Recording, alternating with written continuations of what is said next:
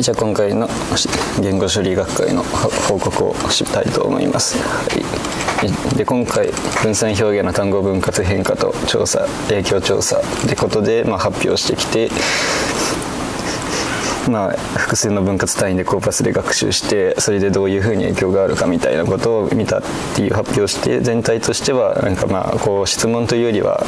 感想みたいなコメントを多くもらいました。でその中でまあ質問としてあったものとしては、まあ、分割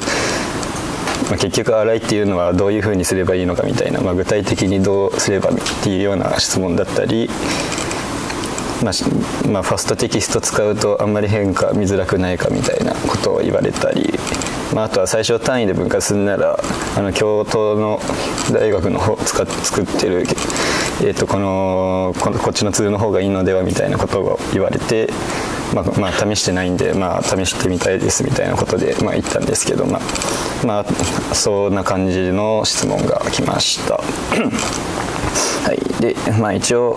多分、まあ、分散表現というか単語言語学的な方面の人たちが、まあ、ちょっとは来たかってことでそもそもそういう研究の背景とかを知らない人に対してすごい分かりづらいポスターになってたなっていうのはちょっと発表の時には思って、まあ、もう少しなんかデータを小さくしてなんかもうこことりあえずもう自分の主張に対して必要最低限見せるとかそういう工夫は必要だったかなと思います。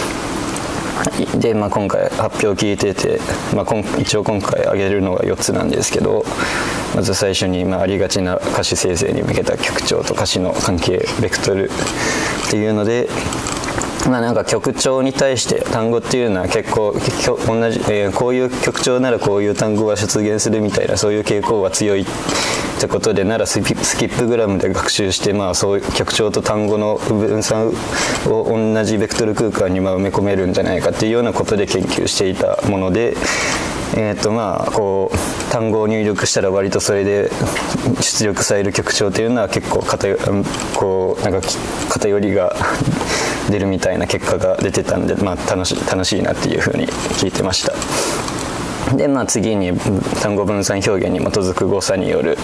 ニューラル機械翻訳の学習というのでこれは、えーと、ロス関数に、まあ、今までクロスエントロピーで01で、まあ、こう学習されているものに対して分散表現の距離をユークリッド距離を用いて、まあ、値を与えてロスの計算をしようというような、まあ、研究で。まあ、これは最初からいきなりクロスエントロピーなしでこの分散表現の距離だけで学習しようとするとロスがま収束しないみたいな問題はあったらしいんですけど、まあ、最初はクロスエントロピーで学習させて次にまあその後まあ分散表現でで、まあ、距離を取って、まあ、いい感じになんかチューニングみたいな感じでまあ学習させてやると,、えー、と道語に対してもまあ結構強い学習ができるというような感じの話でした。で、まあ、次に教師なし分布誤り訂正ということで、えーとまあ、教師なしで SMT で分布誤り訂正をするみたいな話ですね。まあ、これは、えーとまあ、日本語の、まあ、流暢なコーパスと日本語学習者のコーパスでを、まあ、ツイのえー、となんですかあのアライメントが取られてないそれぞれの、まあ、コーパスを、まあ、用いてそれを、まあ、翻訳タスクとして考えて、まあ、やってるっていうような内容で、まあ、それぞれ分散別々に学習させた分散表現をマッピングして、まあ、コサイン類似度でフレーズテーブルを作成して、まあ、それを SMT に出力させてそのモデルに対してさらになんか言語モデルでなんか足切りみたいなのをしたのをデータセットとしてまたそれを SMT に学習させて出力させて足切りしてみたいなのをまあ繰り返すみたいなそういうことをしていました。はい、で、まあ、割とこう教師なしでもできているっていうので、まあ、まあ、こう将来的にはもっと発展させたいって感じでしたね。で最後にまあ複数流動の分割結果に基づく日本語単語分散表現ということで、まあ、自分が一応発表した内容にまあ近いということでまあ見ていて、まあ、複数の分割単位でコーパス学習させるということなんですけどやっぱりまあこういう表現とかっていうのは直接それで取れた方がまあ精度は高くなるみたいな話で。まあ、やっぱまとめられる場合はまとめた方が結構分散表現の学習自体はやっぱり良くて、まあ、分割されたやつをこう足してりしてもちょっとやっぱ限界はあるのかなっていうふうに感じていましたというのが、まあ、今回発表